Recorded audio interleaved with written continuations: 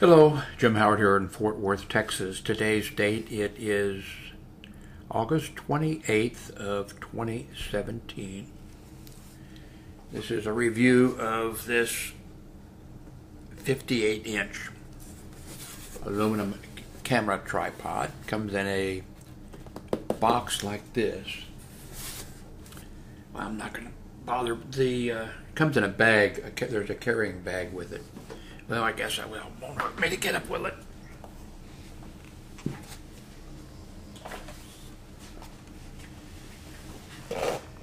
I don't think I'll ever use, but it comes with this bag. And uh, don't think I'll ever use the bag. I've never used one yet for carrying a tripod. I think this is actually the best tripod I've ever purchased. And I was I did a little check. I think I uh, I've purchased several tripods from Amazon, and I think I've been out at CompUSA or someplace, or maybe a Walmart or someplace in the past. And well, I've been interested in photography since I was in grade school, but I, this I think is actually I know it's not expensive.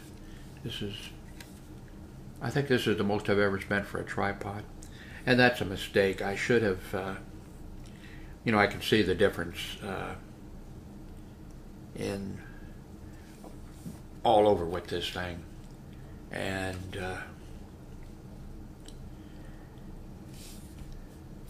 it even well, it comes with a detailed instruction paper here. You probably don't need it, but uh, you should check it out.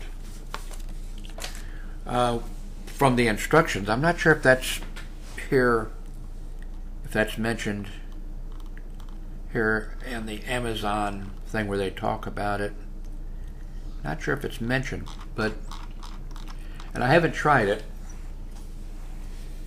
but uh, apparently you can take this off and you could purchase a a better head. Not, I don't think from them, but uh, you can take this off and purchase a better head. And so apparently it unscrews here. There's a screw here on the top, and then there's a this is a one uh, one fourth or one eighth I forget you may need, the instructions mention needing that you, uh, an adapter. And then you can put a floating head or whatever. Yeah, yeah, yeah. Just woke up while my eyes are kind of blurry. Uh, please buy a switch screw when your tripod is UNC, whatever UNC means, one fourth thread. So on Amazon, I found I think about seven dollars for. Uh, I, I forget how many of them. You only need one, but it doesn't hurt to have one. So you could put a better head on this. And I found uh, on Amazon for twenty three dollars looks like a better better head. I mean, this is probably okay for me, but uh, nice to have the option. Uh, these are the best feet that I've had on a tripod. I have one. I have several tripods set up here. I've got a. I've made a lot of videos on YouTube. There's one of the tripods that has a little spike sticking out. Uh, each of the bottoms. Uh, um, and that kind of worries me if I decide to pick up that and go someplace like to a museum or something, someplace that'll allow me to take photos inside and put a spike down on their floor, they probably wouldn't appreciate it. This has nice rotating rubber. This, this is really smooth too, and this is much better than uh, the screws or the ones you have to uh, tighten by twisting. This is faster and better. Uh, has two levels on it, which I never think, I never remember to uh, to use. I'm not sure. I, so there's the, I usually forget to use them. There's a level here, and the other one sticks out. Where does it stick out from? Oh, no, the other one is okay down here. And I always forget, I could use levels, I always forget to use them. But this is the first one that I had that had two levels on it.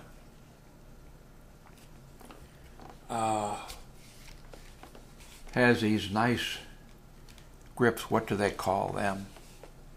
I, I want to say, is it felt or they, have, they call them something. What do they call them? Uh,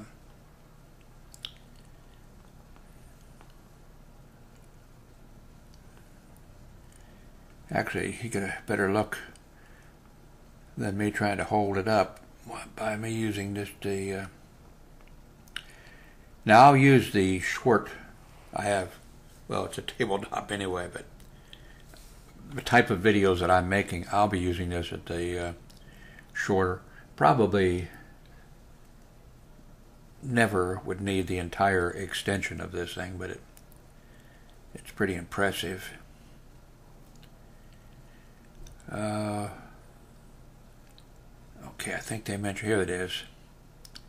No, okay, well let's look at this anyway. Here you go. Non-slip warm sponge things. It feel good. I've that might I don't know if that would matter, but I've tried taking it in the wintertime uh, pictures of the moon with my camera. I've tried uh, taking pictures of uh, International Space Station as it came over, unsuccessful, but out in cold weather. But I'm not sure that uh, grabbing the metal was all that bad, but this would be better, you know, because of kind of bad to have your hand stick to the uh, be frozen to the aluminum, wouldn't it? Anyway, this looks like a uh, looks like a winner. I'm glad I got it. I have in the past. Well, there was one in the closet someplace. I should throw it. Uh, it was a, a, small one though. I got a. I can't think. I can't believe that I had that I bought it. I got a feeling maybe it came with something else, but I mean a really really bad tripod. I wouldn't want anybody to even see that tripod. This thing looks good. Looks professional. Looks like it's about a $150 uh, tripod. I've never had a $150 tripod. But this looks like uh, looks like a good one. I can't wait now to uh, hook my camera up to this and see which one of these other tripods I'm going to replace.